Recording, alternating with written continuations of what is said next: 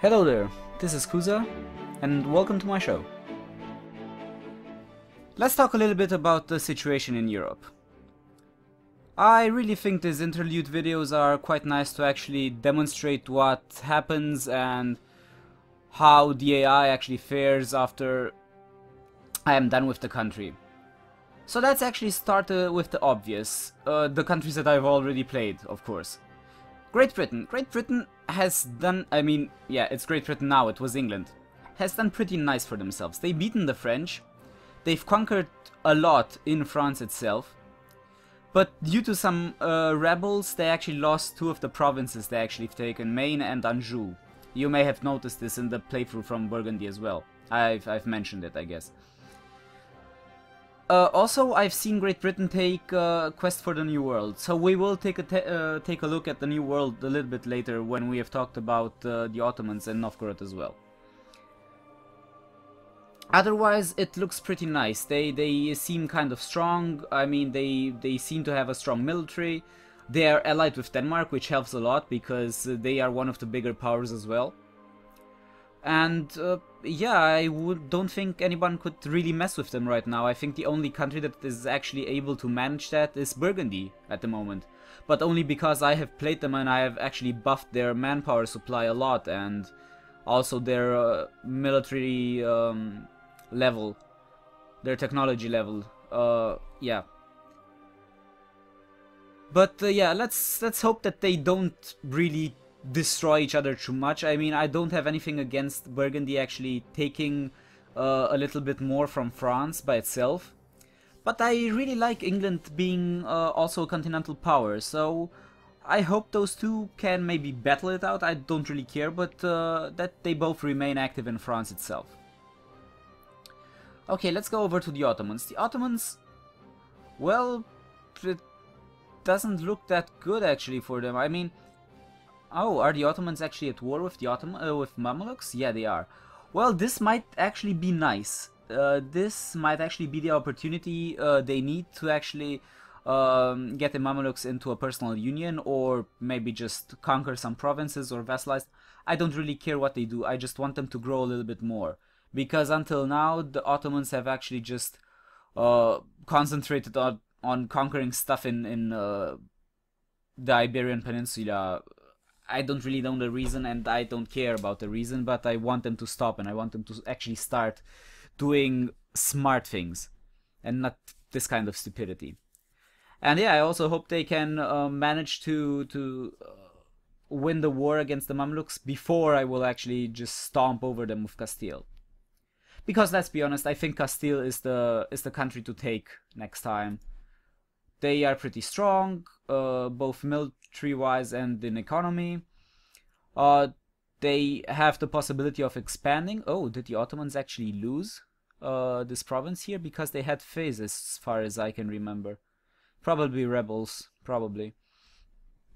Well, in any case, I don't even know if I need to actually fight the Ottomans with Castile. I can just send, I don't know, uh, what I call it, the, the rebels, and let them just turn over the provinces to me, while the Ottomans are actually uh, tied up um, in Egypt and the Orient. But yeah, uh, I don't know. I, I actually expected the Ottomans to do a little bit better. I mean, I am in awe of them that they managed to to conquer uh, stuff in in uh, Spain. But to be honest, it's something that much uh, more useless that this is impressive. Uh, yeah, what they need to do is actually get the Mamluks and and maybe try and conquer something north of the Black Sea because this is the one big um, weakness the Ottomans have uh, the the straits because you can just block the straits with your fucking fleet. I mean, you're gonna see it when I play the uh, when I play Castile you just block the straits and the Ottoman army can get from one side to the other and you can just focus on one side and completely destroy their army. And once you've uh, managed to uh, besiege and, and conquer one of the, the parts, I mean the European or the Asian part, you just they, they can't do anything anymore. I don't even want it to come to that because I think that will cripple them. Well, let's hope that that uh, they will manage to recover because yeah, we will do it as Spain probably, and and the Ottomans will will get their fair share of fighting. because uh, this is unacceptable for me as as Spain, and it just looks ugly as well. Also, as Spain, I will need to to actually fight against England, and yeah, England, as I have said, is pretty strong, and I actually hope that I can manage to to do it. Also, Aragon, I will probably just uh, annex them. I won't just uh, beat around the bush with it. I won't try to get a personal union. I won't try to vassalize or something like that. I will just annex them probably as soon as I have the opportunity. Because, let's be honest, it takes 50 years to actually get the core. So as soon as we do it, uh, the sooner we do it, the better.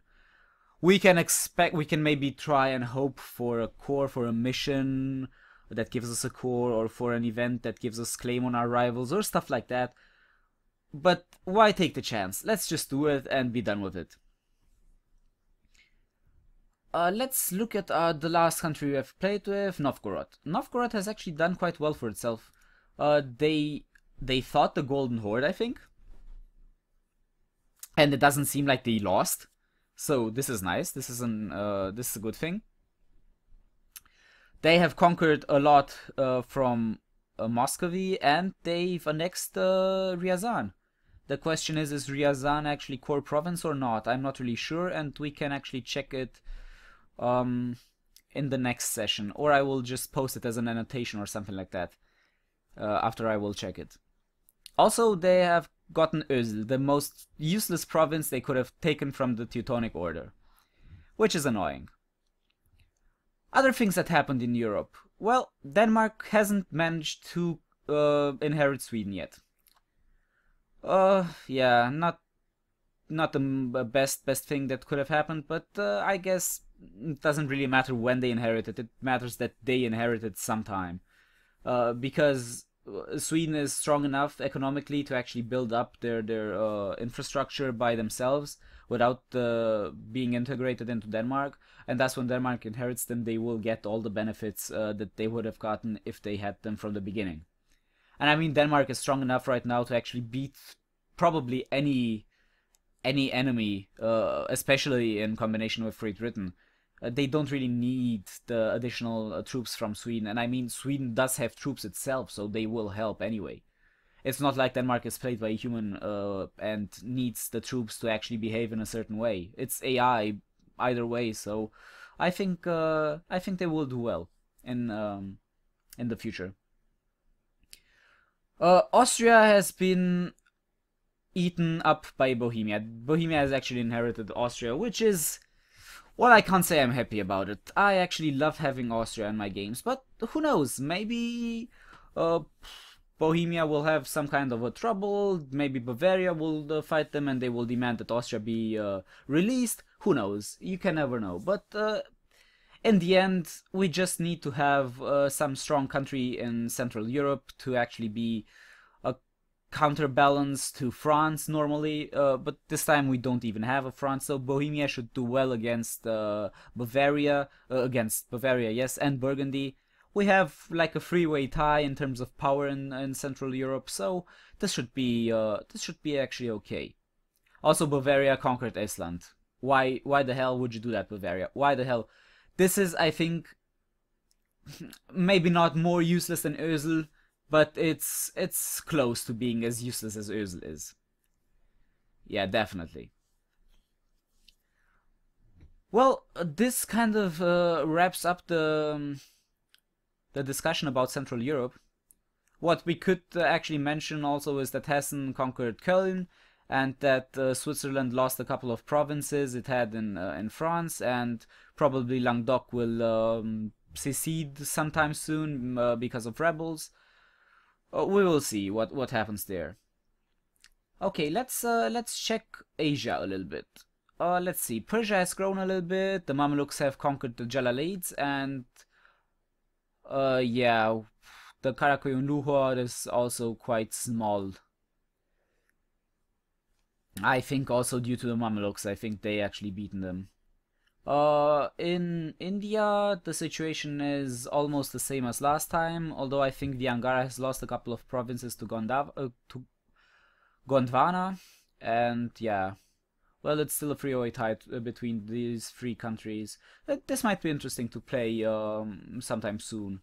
And Brunei is actually um, continuing to conquer itself through southeastern Asia, which is nice. They've actually started to conquer Majapahit, and hopefully sometime soon they will conquer Makassar as well. And yeah, uh, let let's see how they actually fare against Ming. This is a good question. I'm uh, very interested to seeing that. Also, Japan looks pretty much the same as last time. I can't really see a big difference. Uh, Fujiwara is still the dominating power and probably in the next 50 to 75 years they will uh, unite Japan. Which is alright by me. That might also be a country that is worth playing. As I think I have said before. The Kazakhs are pretty big. Hmm. Well, nothing else really springs to uh, mind. Uh, Mutapa has conquered a fair part of um, Swahili, as has Adal, and also Ethiopia doesn't exist anymore. What else has happened here? Nothing much. Uh, Songhai is big again. Well, not much colonization going on in these parts, so I I guess Spain hasn't uh, hasn't uh, actually seen too much of uh, southern and eastern Africa. But you can never know. Oh, and, and Spain has actually started colonizing South America, which is uh, which is cool.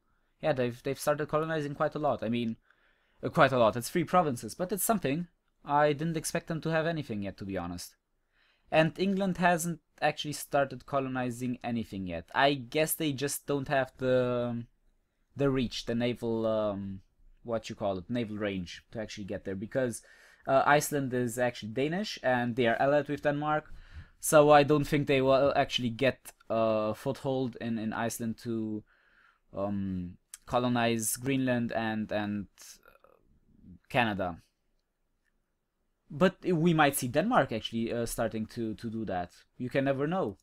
Maybe Denmark will colonize and just leave Europe alone. Although they are in a quite good position here to do uh, to do great stuff in Europe. But we'll see. Uh, I don't know. I'm happy that at least Castile started colonizing. I'm a little bit bummed out that Portugal didn't start to, but as it as it looks like now, I don't even think Portugal will get the chance to colonize because uh, Castile has actually eaten them alive, and then the Ottomans came in and have eaten uh, a bunch of provinces from Portugal or one province. I don't know how, how many they had before the Ottomans attacked. And um, yeah, they are pretty much toast right now. I mean, I could try to play Portugal and try to do something, but it would be very, very difficult. Especially against a Castile that's aggressive. You can't really do much. Let's let's be honest. You can't really do much. You, uh, as Portugal, it's it's uh, always a good idea to try and just go for colonization early on uh, get a foothold in, in South America or Southern America or wherever you want to go, the Caribbean, the Caribbean, and then if Castile attacks, just give them what they want in in uh, continental Europe and Iberia, and then just migrate to the uh, colonies, because why not? Just just go there and stay there. Well, anything else to actually say? Nothing much. We could talk about the possible countries to be played.